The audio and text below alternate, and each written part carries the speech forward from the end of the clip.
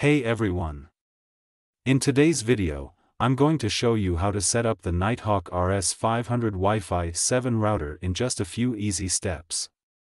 Let's get started. First, unbox your Nighthawk RS500 and make sure all the components are there.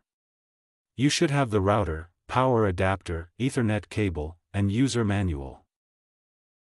Next, connect your router to the modem using the provided Ethernet cable. This is essential for your internet connection. Now, plug your router into a power outlet and turn it on. You'll see the LED lights blink for a few minutes, so wait for them to stabilize. While the router is booting up, download the Nighthawk app on your smartphone. It's available for both iOS and Android.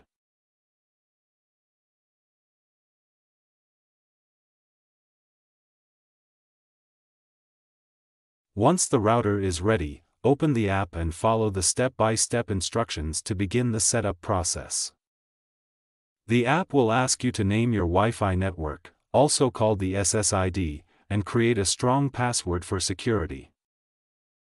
You can also customize other settings in the app, like parental controls or device prioritization, depending on your needs. Finally, Connect one of your devices to the new Wi-Fi network to ensure everything is working smoothly.